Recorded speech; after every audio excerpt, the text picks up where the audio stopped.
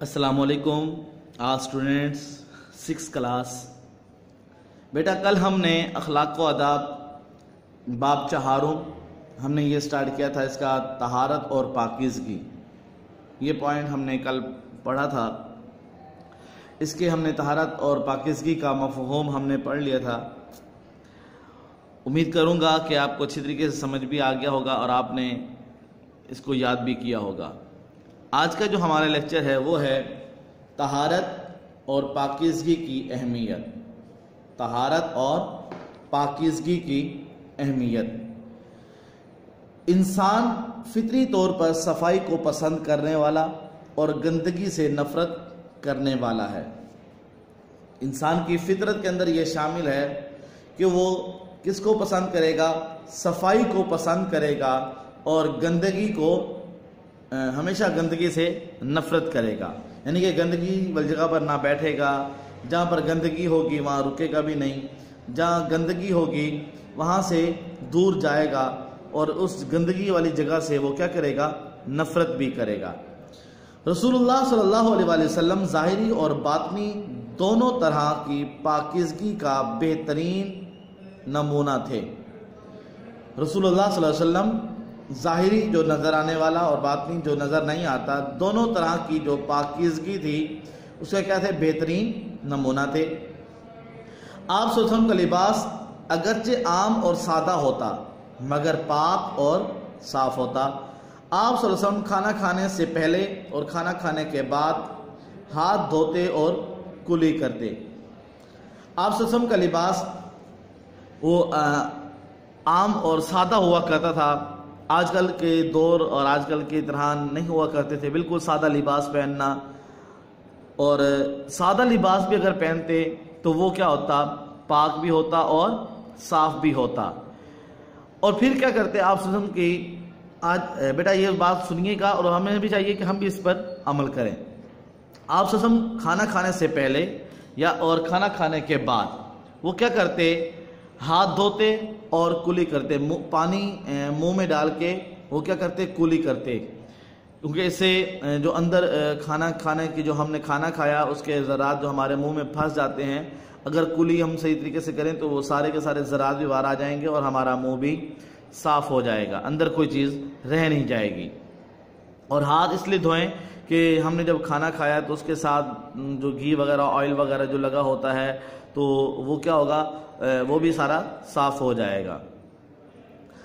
फिर आगे है, जब गुसल फरमाते तो सर और दाढ़ी के बालों को कंघी करके उनको अच्छी तरह संवारते। यानी कि जब आप ससम गुसल कर गुसल फरमाते तो क्या करते? सर के बालों और दाढ़ी के बालों को क्या करते? सर और दाढ़ी के बालों में वो कंघी करते, इसलिए कि वो अच्छे लगें। ठीक है? इसलिए के अच्छे लगें। सर में तेल और खुशबू लगाते। अगर किसी शख्स के सर और दाढ़ी के बाल बिखरे हुए देखते तो ऐसे शख्स को अपनी हालत दुरुस्त करने का हुक्म देते। यानी कि जैसे आजकल के नौजवान बच्चों और न्यू जनरेशन के जो हैं, वो उनके अक्सर देखें ना, वो बाल ऐसे बिखरे पड़े होते हैं तो हमें चाहिए कि वो ऐसे बाल बिखरे हुए ना हो, बल्कि हम उन्हें अच्छे बना सवार के रखें। तो हजूर पाक ने भी एक आदमी को देखा, उसके बाल ऐसे बिखरे हुए थे तो आपने फरमाया कि इसको ठीक करो। नाखून को तराश कर रखते, यानी कि नाखून हमेशा छोटे होते हैं उनके अंदर मैल वगैरह ना होती तो हमें चाहिए हमें भी इस तरह करें। मसवाक का इस अहतमाम करते क्योंकि मसवाक जब करते हैं तो उसके दांतों के अंदर जो ज़रात वगैरह होते हैं, कोई मैल वगैरह, वो सारी की सारी उतर जाती है। हर नमाज़ के मौका पर ताज़ा वज़ू फरमाते, यानी कि हर नमाज़, जब, जो नमाज़ का वक्त होता, आप नया वज़ू करते। वज़ू के वक्त मिसवाक ज़रूर करते, यानी कि जब वज़ू किया, आपने मिसवाक ज़रूर किया। आप ससम ने अपने सहाबा कराम को भी साफ़ सुथरा रहने की तालीम फरमाई। यानी कि सहाबा कराम रदी अल्लाह तम को भी आपने यही इशाद फरमाया कि साहबा साफ़ सुथरे रहा करो। लोगों को ताकीद की कि कच्चा, वो कच्चा प्याज या लहसन खाकर मस्जिद में इस हाल में ना आए कि उनके मुँह से बदबू आ रही हो, जिससे दूसरे लोग कराहत करें। लोग हजूर पाक ने इशाद फरमाया कि कच्चा प्याज और लहसुन खाकर मस्जिद में ना आए, क्योंकि जब आप ये दोनों चीज़ें खा कर आएँगे तो आपके मुँह से बदबू भी आएगी और लोग फिर बदबू से वो क्या होंगे? दूर भागेंगे। तो इसलिए वो क्या होना चाहिए हमें? कच्चा प्याज और लहसुन खाकर मस्जिद में नहीं आना चाहिए। अच्छा फिर आगे है, बद्दू लोग अक्सर पानी की कमी की वजह से कई कई दिन गुसल ना करते। यानी कि कई कई दिन वो नहाते नहीं थे। फिर आप ससम ने उनको हिदायत फरमाई कि कम अज़ कम जुमा के रोज़ गुसल करके मस्जिद में आएँ, ताकि दूसरे लोग उनके पसीने की बदबू से परेशान ना हों। आपने इशार फरमाया बदुओं को, क्योंकि अक्सर पानी की कमी रहती थी, जिसकी वजह से वो कई कई दिन नहाते नहीं थे। तो आप सबने इशाद फरमाया कि तुम ऐसे करो, कम अज़ कम तुम जुमे के रोज़ गुसल करके आया करो ताकि लो, लोग जो हैं तुम्हारे पसीने की बदबू से परेशान ना हो। इस्लाम में तहारत और पाकिजगी की बड़ी अहमियत है। जो शख्स अपना बदन और लिबास पाक साफ़ रखता है उसके ख्यालात और अकायद भी पाक साफ़ हो जाते हैं। यानी कि जो लोग तहारत और पाकिजगी को अपनाते हैं वो क्या उनका क्या है? उनके बदन और लिबास पाक साफ़ रखते हैं तो उनके ख्यालात, जो शख्स अपना बदन और लिबास, ये दोनों चीज़ें, बदन और लिबास, जिसम और लिबास अपना पाक साफ़ रखेंगे तो क्या होंगे? उनके ख्याल और उनके अकायद, वो क्या होंगे? पाक साफ़ हो जाते हैं। पाक साफ़ इंसान अपने आप को बुरी आदत, मसलन गीबत, झूठ फजूल खर्ची हसद, कीना और बेहयाई से बचाता है। पाक साफ़ इंसान वो क्या करता है? वो इन तमाम आदात से वो क्या होता है? बचता रहता है। वो कौन सी? नंबर एक, गीबत। नंबर दो, झूठ। नंबर तीन, फजूल खर्ची। नंबर चार, हसद। नंबर पाँच, कीना। और नंबर छः बेहयाई से वो क्या करता है? ऐसी और भी कोई चीज़ हो तो उनसे क्या करता है? वो बचा रहता है। इसे अमाल की तहारत कहते हैं। तहारत से इंसान पाक साफ़ और खुश खुरम रहता है। उसकी सोच पाकिज़ा और अमल नेक हो जाता है। यानी उसकी जो सोच है ना वो उसकी सोच सोच पाकिज़ा हो जाती है और उसके जो अमल हैं वो नेक हो जाते हैं। अमल नेक करना शुरू कर देता है। उसकी इबादत मकबूल और दुआएँ पूरी होती हैं।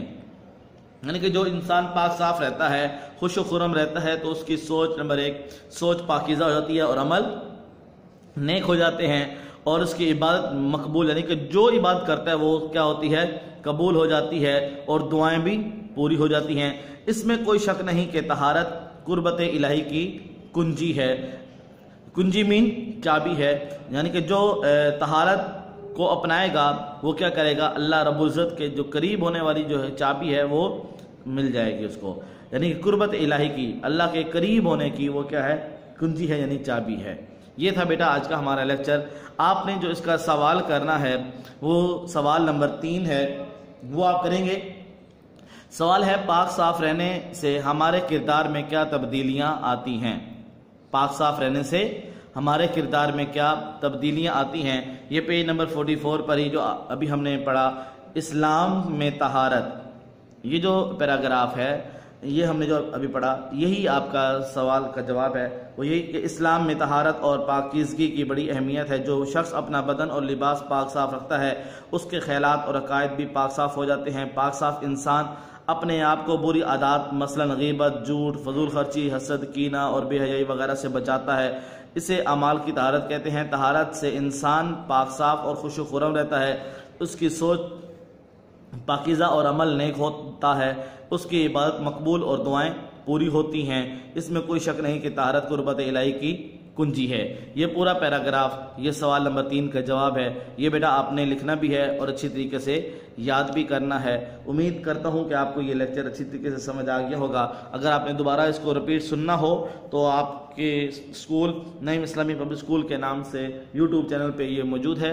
वहाँ पर जाकर आप इसे दोबारा सुन भी सकते हैं। अगर कोई ज़्यादा समझना हो तो आपके साथ स्कूल में हाजिर हैं। वहाँ से आके अभी आप उनसे अच्छी तरीके से समझ सकते हैं।